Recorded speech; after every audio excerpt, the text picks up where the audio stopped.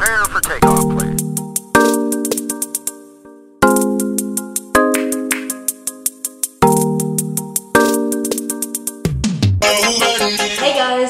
welcome to another video. If you haven't guessed already, this video is some of my tips on how you can survive long haul flights. So I'm going to get straight in, but before I go into the video, I just want to ask you guys to subscribe if you haven't already and also follow me on Instagram as well. Alright, so before tip one, I want to give you guys a, a bonus tip. And if you can follow this bonus tip, then you don't even need to watch the rest of the video. So if there is one time to use your Sky Miles, it would be right now. If you can upgrade your flight, this is going to make the whole world of a difference. And uh, yeah, it, I mean, obviously a lot of like a lot of times you can't upgrade, but if you can and you've saved up some miles, um, I'm telling you, Do it. Do it. Do it. Do it. Do it. Do it. Come on, do it. Do seriously, what? seriously, do it. this is the only tip that you need. So for those of you that can upgrade, we will say our goodbyes right now. Bye!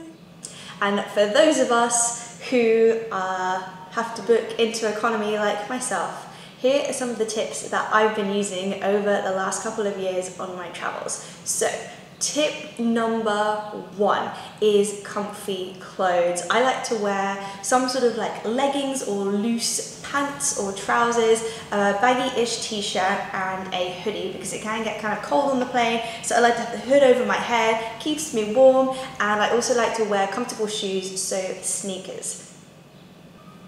Tip number two, pack some toiletries. So I like to pack the essentials, which for me are face wipes, deodorant, toothbrush, toothpaste, facial moisturizer, a lip balm, and a little bit of perfume. I get this like little stick from Zara. They're really cute, really small, really light, and they smell great. It's really nice to just be able to freshen up halfway through your flight, or if you have a connection, um, freshen up once you land at the airport. I can't tell you, this just makes the whole world of a difference, and it's just so much better when you feel a little bit cleaner. Tip number three, I always pack a spare pair of underwear, spare pair of socks and a spare t-shirt.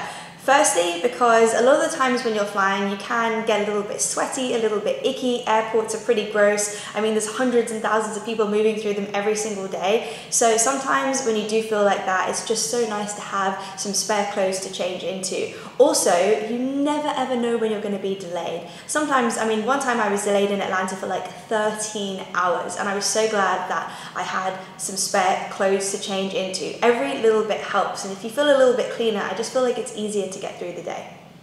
Tip number four, always make sure to bring a water bottle, aim for a litre, and this way when you're on the flight you can get the air hostess to fill it up. Otherwise you're stuck with those tiny little plastic cups.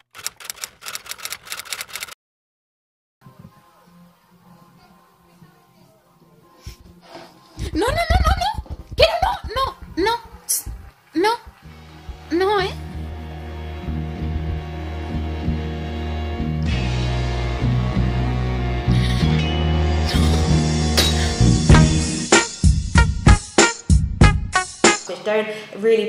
Much water in them and then you've got to constantly keep asking the air hostess to fill up the water so you can drink it. I would definitely suggest drinking as many litres as you possibly can throughout the flight because it can be dehydrating and if you can stay hydrated this is going to help with your jet lag as well. Tip number five. Bring a neck pillow, some eye shades and earplugs. I can't tell you how much of a game changer having a comfy neck pillow is. I use a brand called Cabeau and it's um, a memory foam style pillow. It's really, really squishy, it ties up at the front and it's great for supporting my neck. I've tried a few other pillows on the market, uh, like the ones that blow up because they're easier to fit in your bag, but honestly, they're not that great. And this one with the memory foam is so comfortable. The only downside is, is it is a bit bulky and hard to fit in your bag, so I tie it on the outside, but honestly, it's just worth carrying around. The next thing is eye shades. So there is a lot of blue light all around. I mean, when you're looking at your phone, that's emitting blue light. Um, there's LEDs all over the aeroplane. You've got the TV screens, you've got other people's electronics. And when the blue light is going through your eyes, it can mess with your circadian rhythm. So it's an idea to sort of that's why people tell you to shut off your electronics before you go to bed because um, having less blue light gets your body ready for sleep. So one thing I would suggest investing in is um, blue light blockers, which actually help to block out the blue light and get your body ready for sleep. So you can just wear them before you get to the airport and then on the plane, and then that should prepare your body for sleep. The next thing is earplugs. Um, the plane's a very noisy place you take off, it's super quiet, but as soon as you're mid-air, everyone's up, people are getting their suitcases from the air cabins, babies are crying because they don't even know where they are, you've got the air hostess coming in with the noisy tray.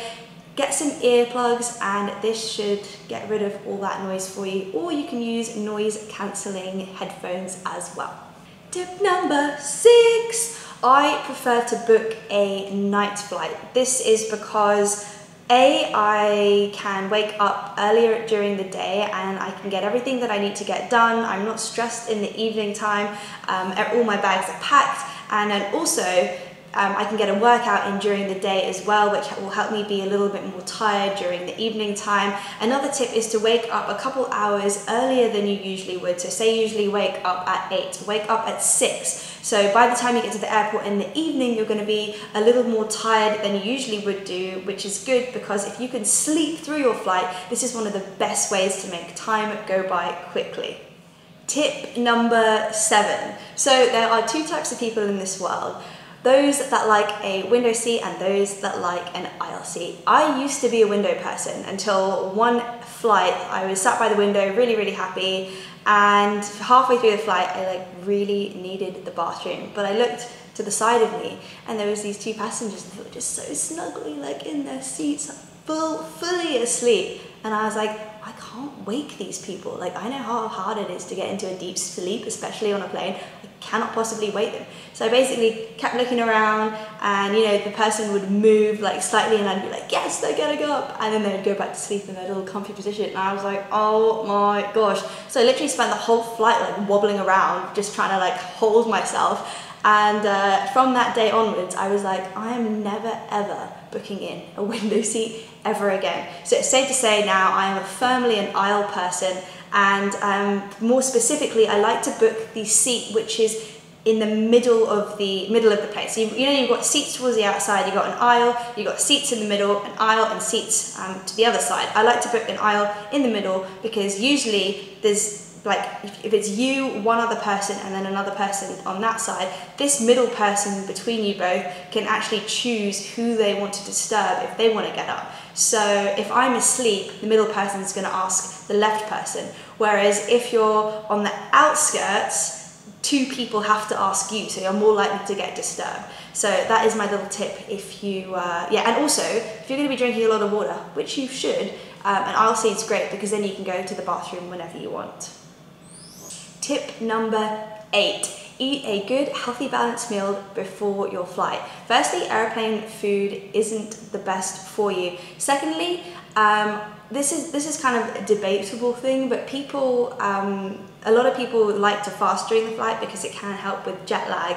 But for me, I, the idea of fasting on the flight is the worst because you're not very, very busy. And when I'm not busy, I just think of food, especially when they're rolling food out to you like every hour of the flight with snacks and things. So the idea of fasting is not for me. I like to eat before. And if you do want to eat on the flight, um, another idea for you guys is to maybe order a special meal because special meals always come out first. You can order a special meal just online um, on the flight website. So yeah, and that way you can use the bathrooms before they get clogged and dirty with everyone else once they've finished their meals. Tip number nine, find a way to escape, whether it's movies, books, podcasts. I love podcasts.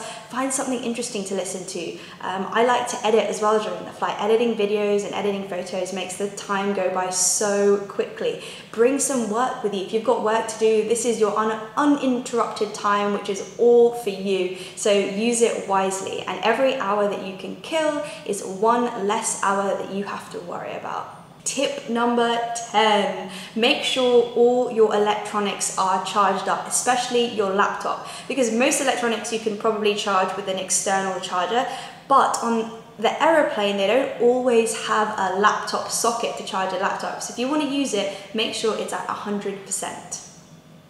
Tip number 11, use a sleep aid. Now this is totally optional. Um, I don't recommend using this for everyone. Obviously check with your doctor to see if it, using a sleep aid is right for you.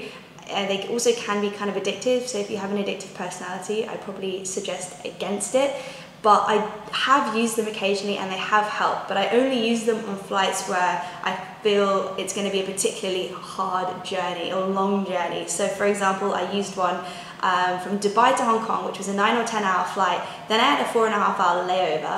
Then I had to do another nine or 10 hour flight to Sydney. So for that one, I used it. Don't use it all the time. Um, but it's just an option because if you can sleep through most of that, then it makes the whole thing a lot easier. So that is all the tips for you. Those are all my tips on how to survive a long flight. I've actually created a PDF that you could download as well. It's going to be in the description. You could download this, take it away, and uh, you can just read these tips in PDF format. So if you're interested, download the link. Hope you guys enjoyed this video. Don't forget to follow me on Instagram, and I will see you guys in my next video.